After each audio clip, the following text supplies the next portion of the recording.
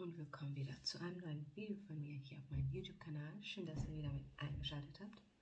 Sorry, falls ich mich gerade so komisch anhöre, aber ich bin erst aufgewacht und ich dachte mir, jetzt muss ich einfach mal dieses Video hier drehen. Und zwar das Jahresrückblick zu 2022, denn das sollte eigentlich ja zum Anfang des Monats ja kommen, aber kam ich bis jetzt noch nicht darauf. Aber ja, es wurde gerade so ein bisschen ja, etwas verschoben, aber gut.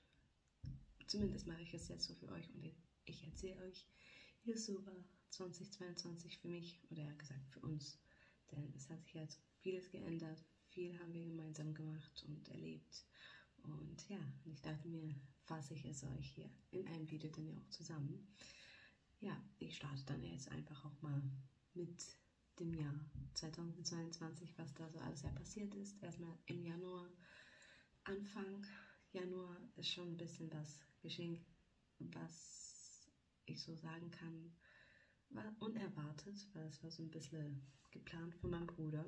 Und zwar hat er da was organisiert, bevor wir es ja geplant hatten, nach Portugal zu gehen, also nach Madeira.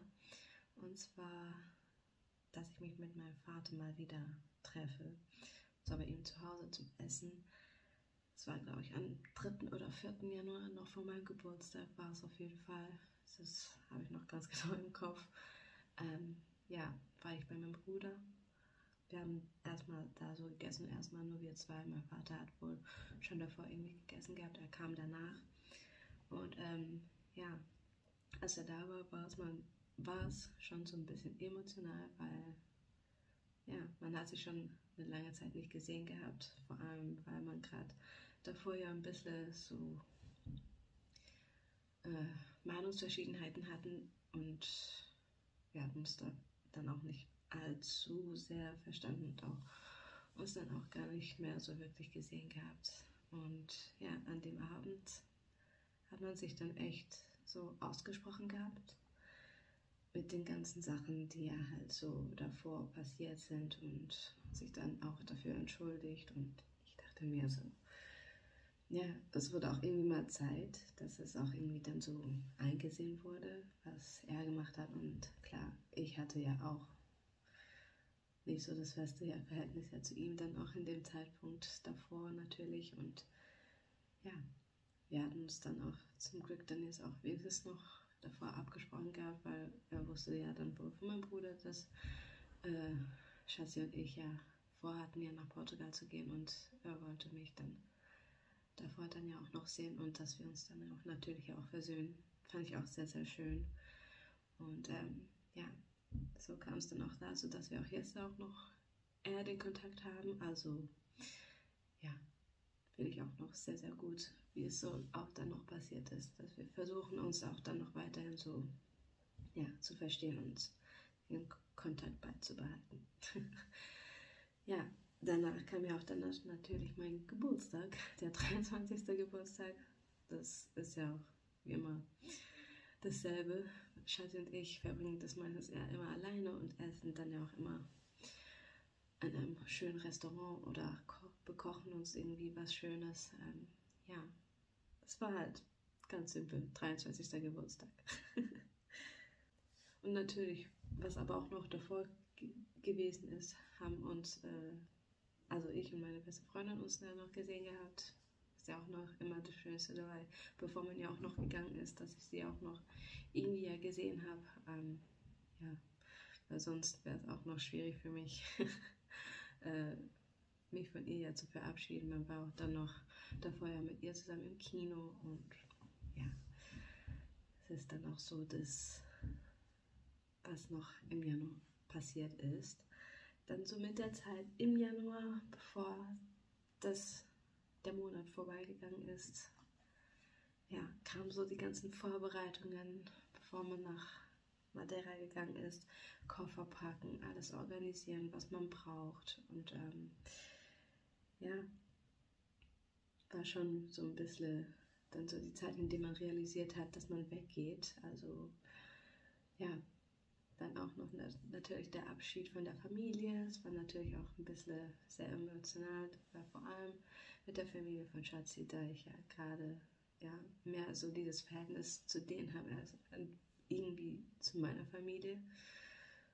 Ist schon ein bisschen, ja, heavy gewesen, aber ja, es war schwierig für uns beide.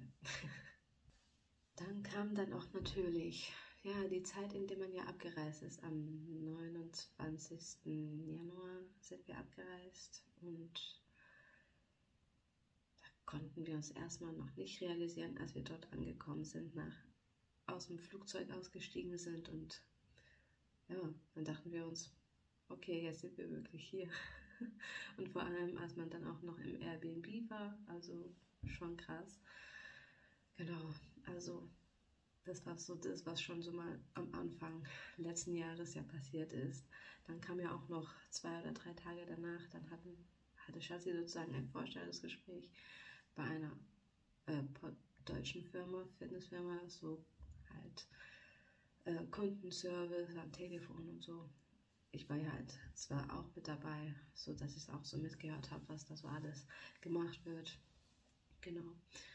Geplant war es ja eigentlich ja dort nur drei Monate sein, falls irgendwie was nicht klappt oder sowas. Aber am Ende waren wir dann doch, ja, sechs Monate dort. auch irgendwie vollkommen unerwartet. Wir waren ja bis zum Juli dort. Im Juli sind wir dann aber auch dann äh, abgereist, wieder hierher. Dort haben wir dann auch noch sehr viel erlebt. Man hat sich dort auch nach Jobs umgeschaut und ich hatte sozusagen auch ein Vorstellungsgespräch dort zu einem portugiesischen ähm, Restaurant. Es war schon irgendwie ein bisschen schwierig auch für mich, weil viele Wörter kenne ich ja auch noch nicht so in unserer Sprache und da ist dann auch so ein bisschen der Verständnis zu viel noch nicht ganz so da, aber ja, so diese Umgangssprache, sage ich jetzt mal, oder auch so bestimmte Wörter, die man so oft ja nicht allzu sehr hört, weil ja, man spricht ja sozusagen dieses einfache Portugiesisch, sage ich jetzt mal. ja, war so ein bisschen schwierig, aber ich hatte ja das Vorstellungsgespräch, hatte auch ein ähm, äh, Probearbeitstag am Abend natürlich, weil die erst Leute gesucht haben für den Abend, aber das ist dort, ja, wenn man ja immer erst nach Mitternacht erst nach Hause gehen kann, ist schon ein bisschen schwierig und das wäre dann auch eigentlich ja nicht so wirklich was für mich, da bin ich ja ganz ehrlich. Äh, ja, dann man hat mich dann auch natürlich dann nicht so wirklich angenommen, weil ich hatte ja auch keine Erfahrung so in dem Bereich. Also war es dann auch natürlich dann auch nicht so schlimm. In der Zeit hat man aber auch noch weiterhin nach Jobs geschaut gehabt. Ja, generell in Madeira war es sehr schwierig, weil es dort mehr so Touristen basiert ist und viel halt mehr damit ja auch zusammenhängt natürlich. Ähm, Klar hätte man auch schauen können, ob man sich da vielleicht wie selbstständig machen kann, aber ja, wäre auch trotzdem auch ein bisschen schwierig. ähm, ja, nach einer Weile, weil ich ja auch dann dort noch nicht so gefunden hatte, hatte Chassis aber auch dann noch den Job bei der politischen Firma. Davor hatte er aber auch noch, ähm, ich meine, deutsche Firma natürlich, weil es ja Kundenservice auf Deutsch ist. Und ähm, ja, hatte er aber auch davor noch äh, einen Job auf Englisch sozusagen, aber es wäre dann im Nachhinein dann aber auch noch auf Deutsch. Aber er hat dann auf die deutsche Firma dort gewechselt und äh, ja, nach einer Weile hat man dann auch noch, noch dort nach einer Person gesucht, die so ein bisschen Social Media ja bearbeitet und auch so ein bisschen die Sachen für die Chefs ja bearbeitet, also so wie als Assistentin. Ja, äh, fand ich auch bis jetzt auch ganz cool, der Job. Manchmal, ja, war es so ein bisschen so, dass nicht allzu viel ja zu tun war. Und klar saß man da so auch meistens so in der Zeit, aber zumindest war ich in der Wirtschaft sie, es war irgendwie so das Schönste auch irgendwie da, dabei. Ja, danach war es dann halt so ein bisschen das Schwierige, dass, ja, zu einer, einer Wendung kam, dass ich sag mal so, mich dann nicht mehr so wirklich wollte. Also man wollte mich dann, dann nicht mehr. Man hatte dann auch in der Zeit dann da, aber auch, auch ein kleines Häuschen ja gehabt gehabt. Und äh, ja, man hatte auch dann so die ganzen Möbel ja auch gekauft gehabt. Und man hatte sich dann auch schon so ein bisschen eingelebt gehabt, weil man hatte ja eigentlich ja schon wie ja, geplant gehabt, klar drei Monate, um zu schauen, ob es wirklich klappt.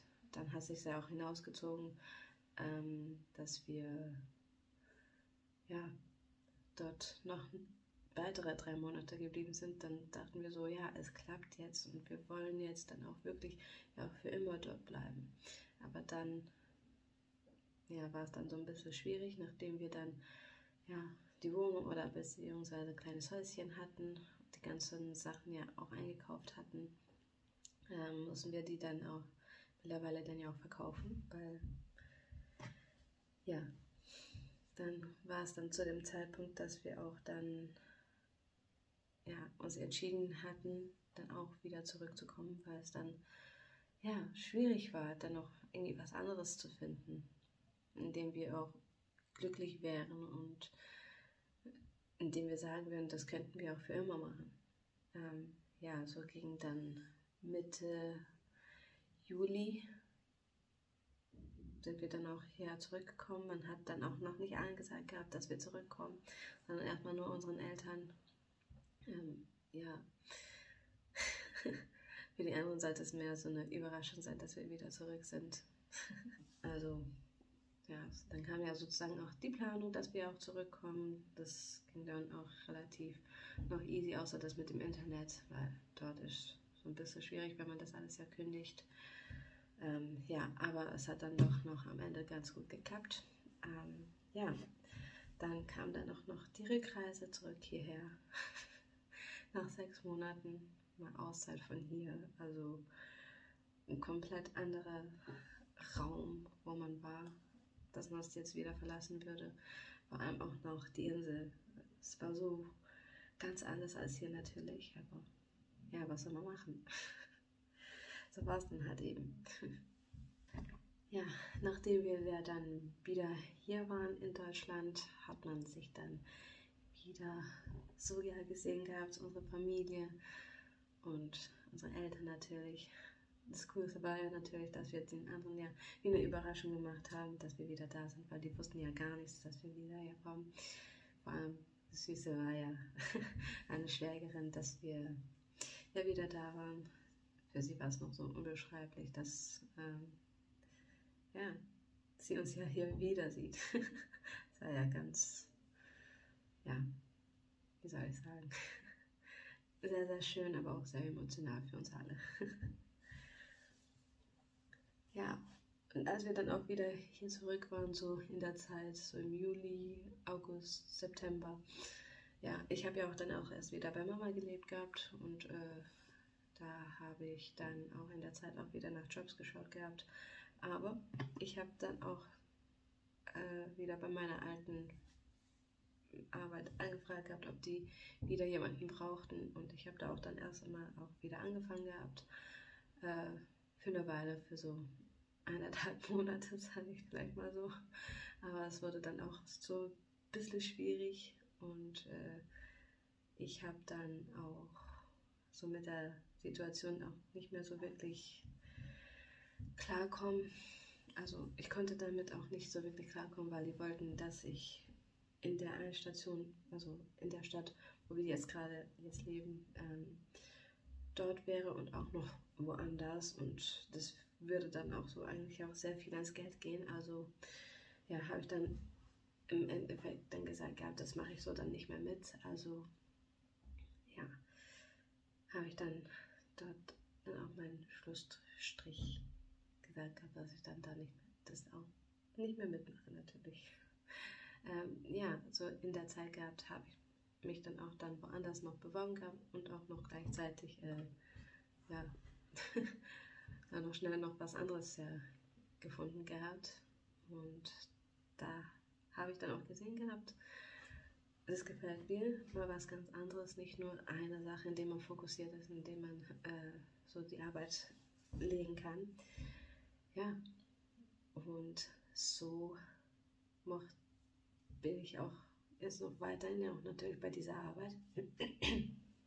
Tut mir leid. Aber ja, das viele Reden ist halt so. ähm, ja, in dieser Arbeit bin ich auch jetzt gerade noch. Ähm, ja, zu dem, was jetzt gerade so kommt, äh, kann ich auch noch gleich noch erwähnen. ähm, ja, so zu dem Zeitpunkt äh, habe ich auch noch Hilfe bekommen gehabt, dass ich mich ja dort bewerbe. Es war sozusagen mein Schwiegervater, der mich dazu geleitet hat, dass ich mich dort bewerbe. Und ich fand es auch bis jetzt auch ganz gut, denn ich habe da auch so ein klein wenig die Verantwortung, denn man hat mir so, da sozusagen die äh, Position gegeben, dass ich es auf und zu mache, je nachdem, wie viele wir da, da auch sind. Es sind gerade so drei Stück ja gerade. Und ja, so mal was ganz Neues so für mich, auch so an Arbeit. Aber mir gefällt es auch sozusagen. Aber der Rest kommt ja auch noch gleich. ähm, ja, so mit der Zeit wurde es dann auch so ein bisschen schwieriger. Nicht nur so arbeitstechnisch, technisch, sondern auch so zwischen mir und Schatzi. Aber ja, das war so ein bisschen so stressige Zeit, aber auch irgendwie so, wie soll man es sagen? Hm. Man hätte sich vielleicht irgendwie fast getrennt, aber auch ja auch nicht, weil wir auch merken, dass wir irgendwie aneinander brauchen. Und äh, so die Zeit, in die wir gerade davor ja hatten, war es ja auch schwierig, weil dann kam ja die Neuigkeit, dass wir ja eine Wohnung besichtigen konnten man hat ja auch so in der Zeit ja Wohnungen besichtigt gehabt, aber dann kam diese Wohnung hier, in der wir jetzt gerade sind, ähm, ja, haben wir uns dann auch ja, entschlossen gehabt, die ja zu bekommen. Oder eher gesagt, der Vermieter wollte ja, dass wir die bekommen. Äh, auch sehr, sehr schön. Wir haben es ja auch ja gleich angenommen gehabt. Dann kamen ja auch die ganzen Renovierungsarbeiten in der Zeit. So im November war ja sozusagen Einzugszeit und bis zum 7. konnten wir das gut einrichten. Davor hatten wir ja auch noch hier jemanden, der alles so ein bisschen wie zerstört hat im Wohnzimmer, aber zum Glück hat mein Vater das alles noch gerettet gehabt. Ich habe ihn ja auch dazu geholt gehabt, dass er uns dabei hilft. Auch da habe ich ihn dann auch dann wieder gesehen gehabt, äh, nachdem wir dann wieder aus Portugal wieder da waren. War auch sehr, sehr schön, dass er auch gleich ähm, bereit war, hier uns zu helfen bei der Wohnung. Ähm, ja, fand ich auch sehr, sehr schön und sehr ähm, ja, herzergreifend, dass er gleich für mich da war, als ich ihn gebraucht habe. Ja, also die Zeit war dann auch da so noch ein bisschen schwierig, aber zum Glück konnten wir es irgendwie bewältigen und äh, ja, ich bin Gott sei Dank froh, dass wir jetzt hier so zusammen wohnen, denn wieder so auseinanderzuleben wäre ja auch irgendwie blöd, sage ich jetzt mal, weil wenn wir ja schon sechs Monate in einem Raum ja alles ja äh, gewohnt haben und so, ähm, wäre es ja blöd, wenn wir jetzt, jetzt auch keine Wohnung hätten. Also bin ich jetzt Gott sei Dank froh, dass wir jetzt in einer Wohnung leben. Ähm, jetzt auch schon noch vor letzten Jahres, dass wir hier einziehen konnten, ist immer noch so ein bisschen unrealistisch. äh, ja, so bin ich auch näher an der Arbeit und äh, ja, auch wenn es gerade da bei der Arbeit noch relativ schwierig ist, weil ich noch nicht weiß, weil es gerade dort ein bisschen, ja, wie soll man sagen, vieles nicht ganz richtig ist, was die machen, aber auch, äh, ja, was, allzu viel werde ich glaube ich noch nicht allzu sehr dazu sagen, weil ich sag mal so, es kommt, was kommen muss. Also, wenn irgendwie was Neues für mich kommt, dann werde ich es auch machen. Vielleicht auch die Selbstständigkeit, wer weiß. Weil ich bin gerade dabei, da ein bisschen was zu planen. Aber vielleicht kommt da was noch zum nächsten Zeitpunkt vielleicht mal. Ähm, ja, auch so jetzt gerade mit der Arbeit ist auch gerade sehr viel ähm, ja, Überstunden, da ist gerade nicht allzu vieles richtig, nicht nur für mich, auch noch für andere, meine Mitarbeiter, sage ich jetzt mal. Ähm, man verlangt da von gerade sehr, sehr viel. Äh, ja, aber ich hoffe, dass man irgendwie noch in, in die richtige Richtung lenken kann. Falls nicht, habe ich ja noch andere Optionen offen. Ne? Ähm, ja, an sich dann auch noch so, bis jetzt hatte man auch noch Weihnachten ja zusammen. Ähm, ja, also